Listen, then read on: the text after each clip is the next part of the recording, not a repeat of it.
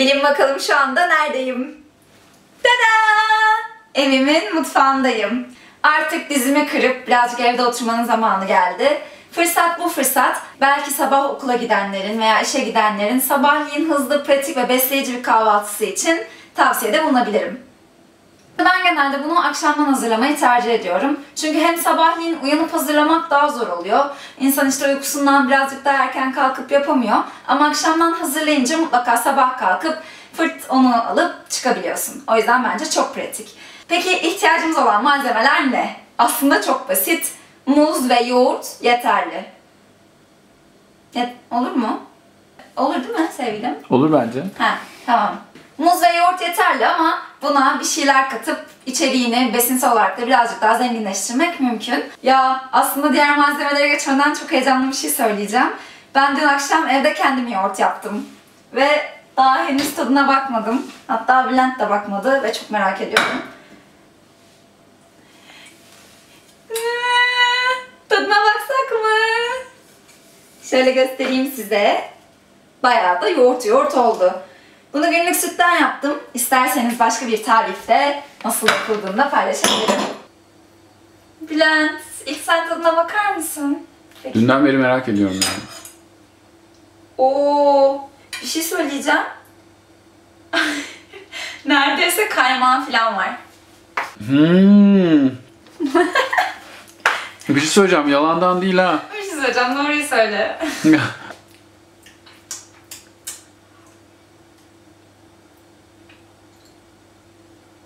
Efsane olmamış mı? Sabahları yoğurt yiyorsunuz. Video bitmiştir. Çok iyi olmamış mı? Ben şuraya Az oturup bir şey yesek mi? birazcık video yiyeyim. Hmm. birazcık video. O zaman ben birazcık yoğurt yiyeyim. Yoğurt gerçekten çok iyi. Neyse. Eğer isterseniz yorumlara bu yoğurdun tarifini isteyebilirsiniz. Belki o zaman bir video çekeriz. Ama bence kesinlikle istemelisiniz. Belki istemeseniz de ben yaparım çünkü çok güzel olmuş. Şimdi neyse sadede geri dönelim. İhtiyacımız olan şey birkaç kaşık yoğurt. Tabii ki ev yapımı olmasına hiç gerek yok. Bir de olgunlaşmış bir muz. Yani böyle dolapta kararmış olması hiç problem değil. Hatta daha lezzetli oluyor. Ama herhangi bir muz işte. Ee, ihtiyacımız olan malzemeler genel olarak bunlar. Ama malzemenin besin değerini birazcık daha arttırmak isterseniz ve tok tutmasını neler kullanabiliriz? Şimdi size onları göstereceğim. Günümüzün yeni besinlerinden chia tohumu olmazsa olmaz. Ya bu chia tohumu nedir diye merak ediyorsanız aslında ben de çok seviyorum. Bunlar süper besinler olarak geçiyor. Bu aslında bir tohum ama küçücük bir tohumun içinde protein değeri çok yüksek bir tohum. Bu arada zannedilmesin ki böyle protein değeri yüksek olan şeyler mesela kinoa gibi aslında karbonhidrat değeri de çok yüksek şeyler. O yüzden işte kinoa yiyorum, süper besin yiyorum deyip de bunu da çok abartmamak lazım. O yüzden her şey tadınca kararınca kararınca tadınca mıydı neyse öyle bir şeydi işte. Ama bunları sütün yoğurdun içine koyunca bunlar böyle şişiyorlar ve becerimsi oluyor. Çok güzel oluyor. Yulaf tabii ki böyle kahvaltıların vazgeçilmezi.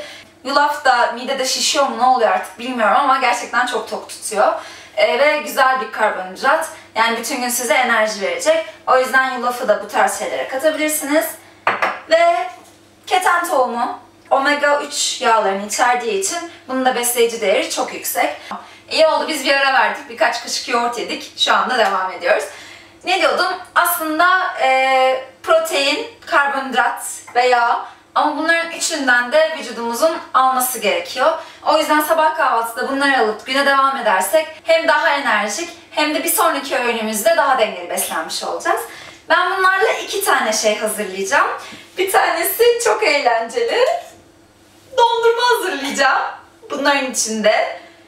Tabii ki dondurma bizim özel zevkimiz olduğu için demeyin ki biz şimdi dondurma kabını nerede bulacağız? Böyle bir şey hazırlamanıza gerek yok. Bir de normal kasede buzdolabına koyup bir karışım hazırlayacağız. Karışım aslında aynı. Sadece birini buna koyacağım, birini ona koyup donduracağım ve gerçekten dondurma gibi yiyeceğim. Hazır mıyız? Bir de böyle bir karıştırıcı işinizi rahatlatabilir ama eğer karıştırıcınız yoksa herhangi bir şeyle muzu iyicene yoğurtla ezip çırpıp bir şeyler yapabilirsiniz. Yani küçük bir el blenderı veya başka bir blenderla. Ee, bizde böyle bir blender var o yüzden işimiz birazcık daha kolay olacak. Ben de her şey göz kararı. Size diyemem ki 3 kaşık şundan 5 kaşık bundan. Gözünüz gönlünüz nasıl seviyorsa böyle bir muz bence yeterli. Bunda yere atmıyoruz ki eşimiz dostumuz kaymasın. Birçok kaşık yoğurt koyacağım. Ay. Hmm. Bunu görmedik, görmedik, görmedik. Hmm, hiç görmedik. Ah yoğurdun güzelliğini görüyor musunuz? Aa,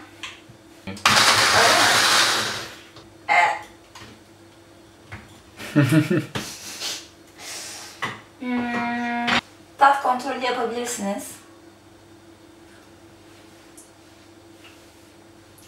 Güzel, gayet güzel. Belki yoğurdunu biraz çok koymuş bile olabilirim. Yemeğe devam etmeyeceğim tabii ki. Şimdi bunun birazcık sıvımsı olmasında hiçbir sakınca yok. Çünkü zaten içine koyacağımız diğer maddelerle bu gece boyunca şişecek, büyüyecek falan. O yüzden böyle birazcık sıvımsı olabilir. Yani olmaya da bilirdi ama ben yoğurdu çok sevdiğim için biraz kaçırdım galiba. Ama hazır bunun içindeyken bir daha başka bir yere aktarmaktansa bunun içindeyken karıştıracağım. Yani bir yemek kaşığı gibi düşünebilirsiniz. O yüzden iki kaşık bundan koydum. İki küçücük kaşık demeyin. Bu chialar kocaman bir şey oluyor. Tekrar çalıştırıyorum. Ve dondurmanın içeriği hazır. Mavi. Uf sabah olsa da yesek. Tamam. Sabahki dondurmamız hazır. Bu buzluğa girecek. Ama bu tamamen keyfi bir şey. Tabii ki ben size demiyorum ki sabahleyin oturun dondurma yiyin. Dolaba koyabileceğiniz bir kase alıyorsunuz. Karışımı bunun içine boşaltıyorum. İşte göz kararı diye buna diyoruz. Bu dolaba koyacağım karışıma ben 3 yemek kaşığı ekleyebilirsiniz. Zaten içine koyduğumuz için 2 yemek kaşığı da ekleyebilirsiniz. 3 Hadi şöyle azıcık değil. 4 olsun. Karıştırıyorum. Bir küçük kaşık keten tohumu da koyacağım. Sabahleyin bunun nasıl şiştiğine inanamayacaksınız. Bu gördüğünüz bidikler şişip puding gibi olacak. Bence üstüne birazcık şuradan kurutulmuş çilek koyabilirsin. Aa, bu ada bir şey biliyor arkadaşlar. Ha, kurutulmuş çileği sabah koyalım. Çünkü kurutulmuş çilekleri yumuşatmasın. Sonra üzerine kıtır kıtır kurutulmuş çilek koyarız. Ne dersin? Anlaştık. Tamam süper ki. Sabaha iki tane süper kahvaltılım hazır. Şimdi tabii ki sabah olmasını bekleyeceğiz. Sabahleyin tekrar görüşürüz. Ben sabah bunlar için sabırsızlıkla uyanacağım. İnşallah güzel olurlar da yüzümü kara çıkarmazlar.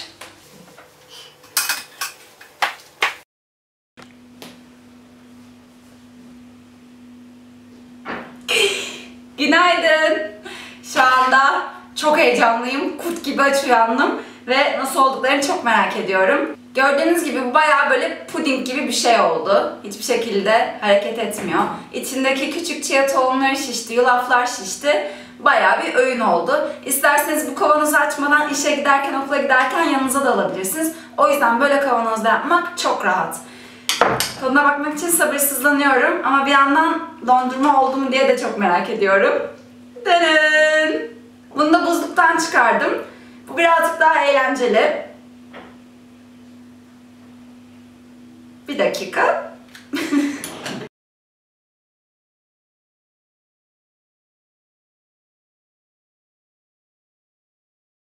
Şöyle yapayım yine. Tabii bunun bu kadar zor çıkmaması lazım. Belki birazcık daha beklerseniz daha kolay çıkabilir. Bülent. Yardıma geleyim mi? Aha! Bakın burada kimler varmış. Artık bakıyorum yeter dayanamayacağım.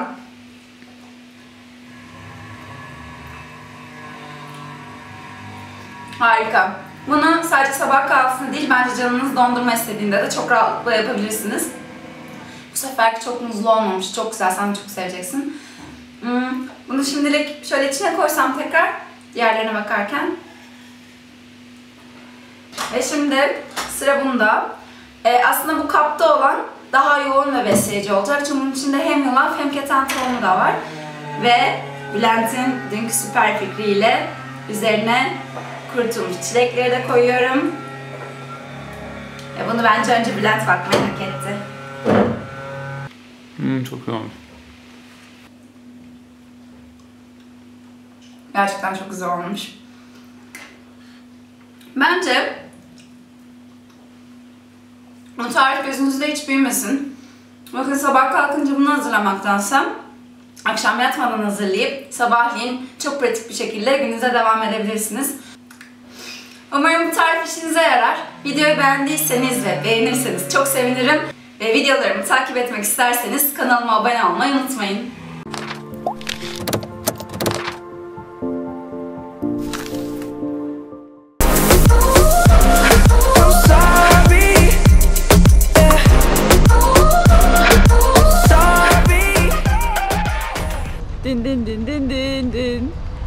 Herkese merhaba, kanalıma hoş geldiniz.